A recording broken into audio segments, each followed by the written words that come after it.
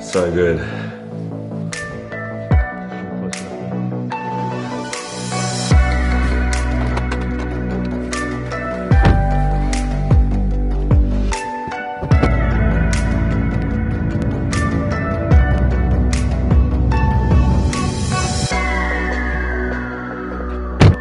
How nice is that looking already?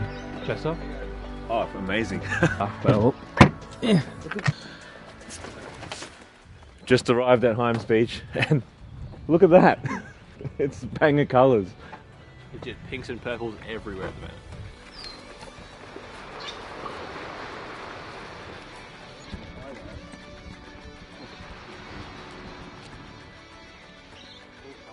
Ah, First reaction to so many people. Hyams Beach. I mean, it's beautiful, but we're not alone. Yeah. Definitely not. You reckon it's the whitest sand in the world? No, definitely not. If I saw a pizza box on you. Sponsored by Domino's. Domino's. Come on, hit me up, Domino's. Even though I work in Domino's. yeah, exactly.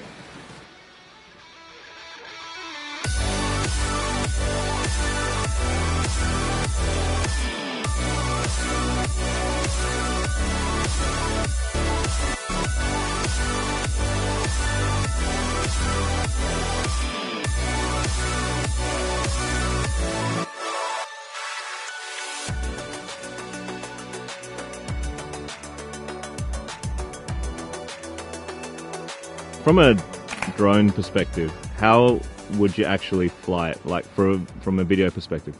So when you're your tips? videoing, yeah, when you're videoing, you want to be able to like basically create juxtaposing sort of angles. So if you know if you're going to be flying the drone sort of in a straight sort of way, you want to then tilt your gimbal down. So by doing going flying straight and up, you can then tilt your gimbal down, leaving the subject in the middle of the frame slash in the frame.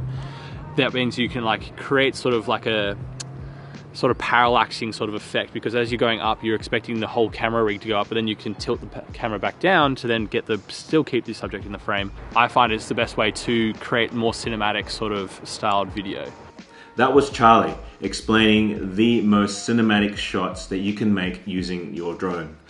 By incorporating three movements in the one shot, you can really enhance that viewer experience. It's far better than flying just forwards and backwards, as that's really quite boring unless you're like Sam Kolder, who absolutely loves flying between trees and making these really sick moves. But anyway, here are six more shots that you can take with your drone that would really give it a cinematic feel. Number one is the reveal shot. Tilt your gimbal up whilst flying forwards or backwards, revealing the scenery ahead of you.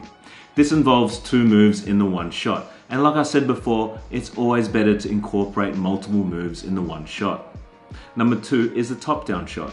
This is a unique shot to drones where you simply look down at your subject from above with your gimbal. To make your top down shots look more cinematic, again, try and use two moves such as twisting your drone as well. Number three is the low shot.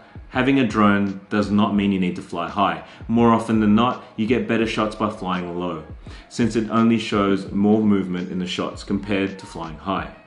Number four is the pan shot. Move your drone from left to right or right to left. You can really enhance your pan shots by also using two movements by moving your gimbal up or down at the same time as panning. You could also pan around your subject in an orbital fashion to give a 360 perspective for the viewer. Number five is the follow shot. This is for when you want to track a subject as they are moving. Number six, finally, is the tripod shot. That is when you have your drone still whilst your subject is moving. So I hope you enjoyed this video as much as I enjoyed making it. Why don't you leave a comment below if you have any questions or if you have any feedback. I would always love to make the, these videos better. And don't forget to like and subscribe, and I will catch you in the next one.